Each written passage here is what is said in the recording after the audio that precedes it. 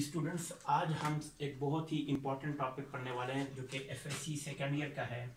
F S E second year और इस topic का नाम है, अगर इसको हम ये कहें कि ये it is call Markovnikov rule Markovnikov's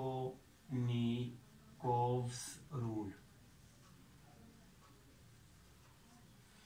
what is Markovnikov rule Markovnikov rule ये कहता है कि अगर आपके पास एक ऐसा कंपाउंड है, यानी अगर आप इसको मैं शॉर्ट कहूँगा तो कहूँगा रिचर गेट्स रिच और पुअर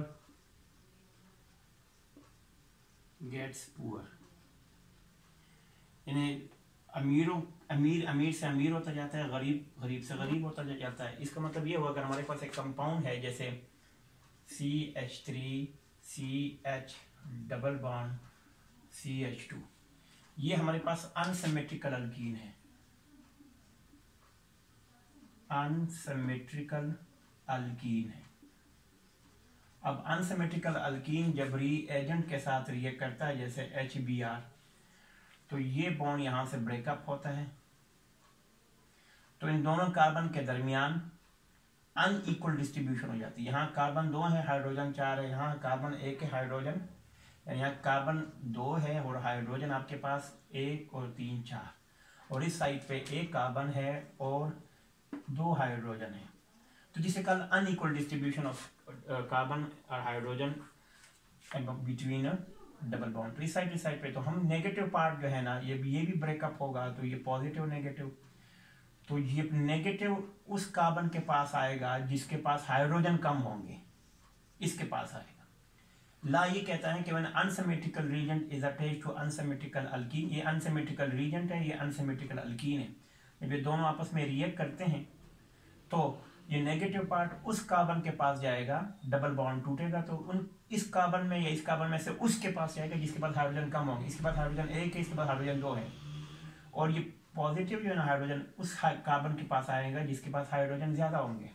तो इससे जो कंपाउंड बनेगा, वो बनेगा C H three C H यहाँ पे आएगा बी आर यहाँ पे सी एच और एच और ये एच ये जो एच था और ये जो बी आर ये एच उस कार्बन के पास आया जिसके पास हाइड्रोजन ज़्यादा थे, देखे जिसके पास दो थे। और ये बी आर उस कार्बन के पास आया जिसके पास हाइड्रोजन कम थे, ये वाला एक। इसी तरह इसको कहते हैं मार्कोनिकोफ रूल अब इसकी स्टेटमेंट पढ़ लेते हैं। जो इसकी स्टेटमेंट थी, ये क्या थी? स्टेटमेंट उसने बहुत ही आसान कहा था। When unsymmetrical unsymmetrical alkene is treated with unsymmetrical. When unsymmetrical alkene is treated with unsymmetrical reagent the negative part the negative part of that alkene uh, that reagent will go to will go to that carbon which contains the least number of which contains the least number of